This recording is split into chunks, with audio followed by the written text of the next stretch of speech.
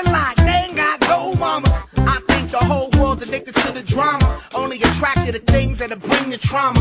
Overseas, yeah, we trying to stop terrorism. But we still got terrorists here living in the USA, the big CIA. The Bloods and the Crips and the KKK. But if you only have love for your own race, then you only leave space to discriminate. And to discriminate only generates hate. And when you hate, then you're bound to get irate. Yeah. Madness is what you demonstrate, and that's exactly how anger works and operates. Man, you gotta have love just to set it straight. Take control of your mind and meditate. Let your soul gravitate to the love, y'all, y'all. People killing, people dying, children hurt, and you hear them crying. Can you practice what you preach, and would you turn the other cheek?